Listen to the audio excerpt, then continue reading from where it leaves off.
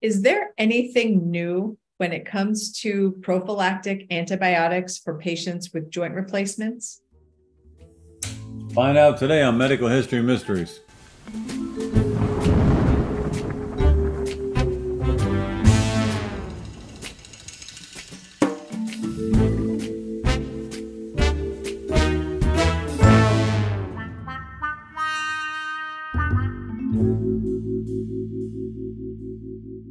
To Medical History Mysteries. Tom, I don't know. I saw a face palm. What is that about?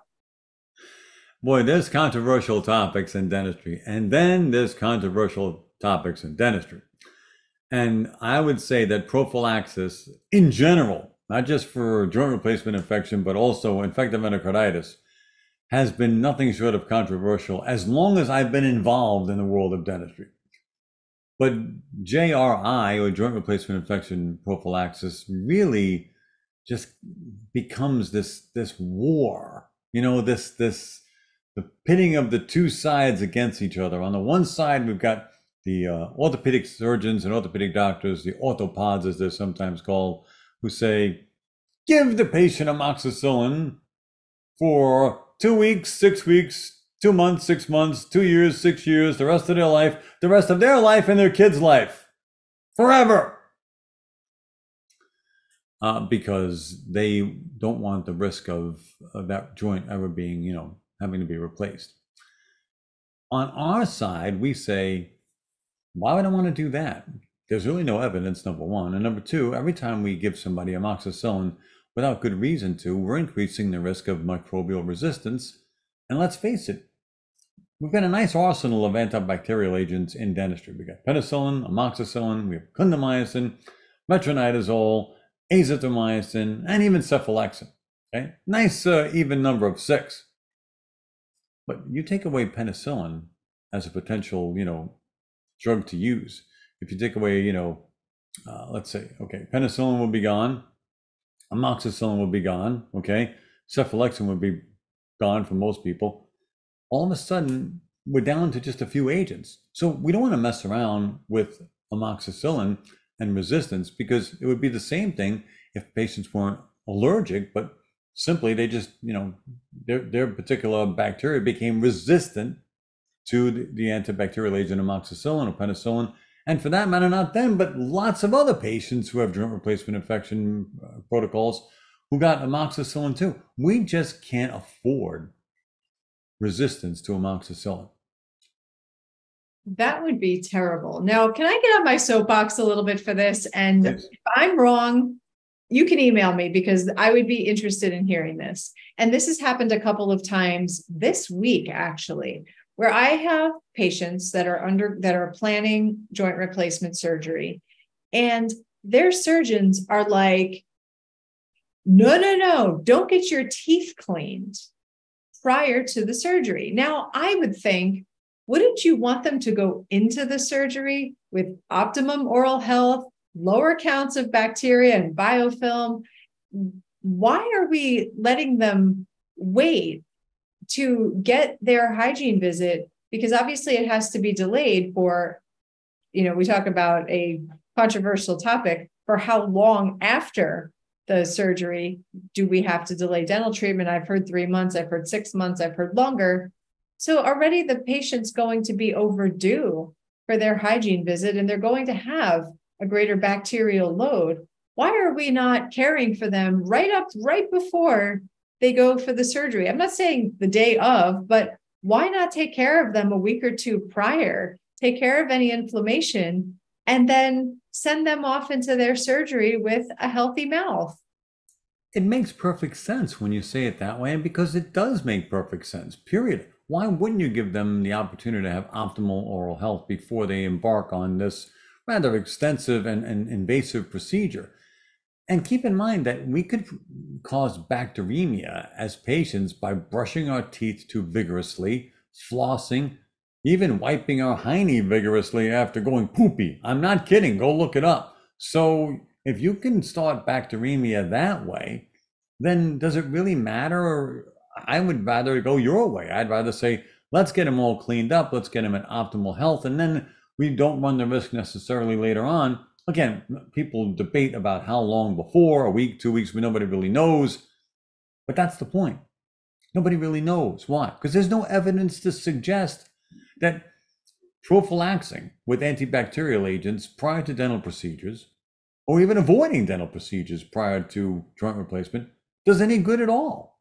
As a matter of fact, the studies that have been published have said the opposite that there is no causal relationship, no relationship between invasive dental procedures and joint replacement infection complications after the fact. And well, there's no evidence to suggest that prophylaxis works to fix or, you know, prevent those infections. So what do we do? So we're dentists, dental hygienists, dental professionals, and the orthopedic surgeon says you need amoxicillin before your dental procedures for the rest of your life.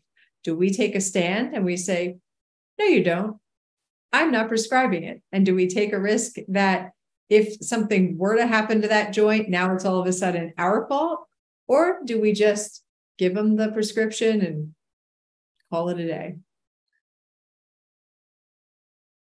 I don't think it's worth dying on that hill. How about that? That's my answer. I just don't think it's worth the aggravation. I don't think it's worth the grief. I don't think it's worth the argument. Number one, dentistry is a business.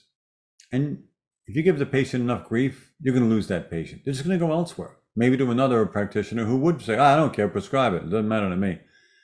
Okay, so that's the first problem. The second problem is if the patient really wants it, it's because they believe and maybe right or wrong, they believe in their mind that if there's a chance I take this amoxicillin and I don't have to get this joint replaced a second time, I'm going to take amoxicillin whether you like it or not. I'm going to go get it. I'll get it from my general practitioner. I'll get it from my, my orthopedic doctor. I'll, I'll twist his or her arm. Heck, I'll take it out of my kid's bottle if I have to but I'm going to get my amoxicillin because I went through one knee replacement and it was hell, and I'm not going through it a second time. Okay, so you, fine. So we're going to do whatever the orthopedic says, you know, unless you feel otherwise. Obviously, it's your call. Well, but okay. Let, let me be devil's advocate. I'm the doc, right? I'm the dentist. I'm the doc in this situation. This is my patient too. Don't I have a right to say, hey, I don't think this is even worthwhile? I, I, there's no evidence to suggest it does work. My advice, for whatever my little advice is worth, is have a frank discussion with your patient and find out what they want. And if they say, you know, okay, doc, I'm with you, do it. If they say, no, no, my orthopedic doctor said I need it, you got to give it to me, then that's fine too. Now, what do you do if the patient doesn't know? I don't know. I'm, you know, an accountant. I'm a construction person. I don't know anything about this stuff. You tell me what to do. I'm going to side with that that view that you just said, Pam. I think I'm going to say, you know what? What the doctor says so, so it shall be. Because at the end of the day, I don't think prescribing four amoxicillin 500 milligram capsules really contributes to to to uh, antibiotic resistance as much as we might think.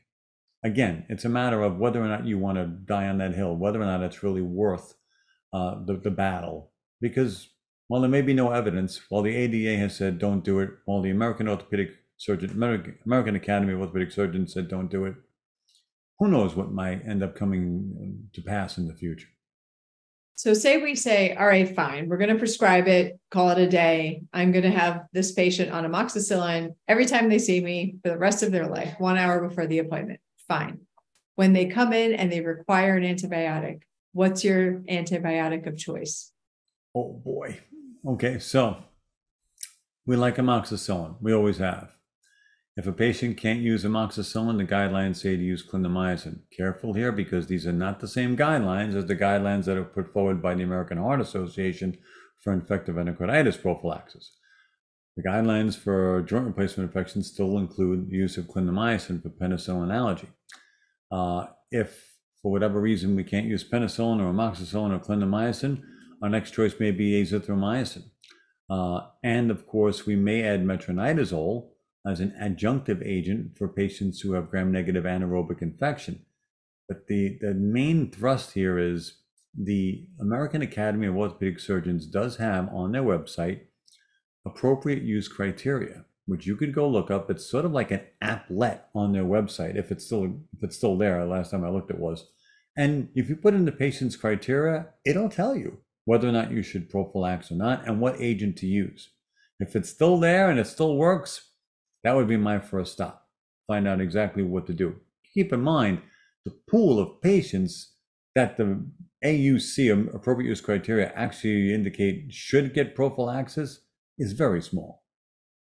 So if they're taking amoxicillin as their antibiotic for prophylaxis and they have an infection and you need to prescribe something else, can you just give them a little more amoxicillin or are we going to maybe consider something else?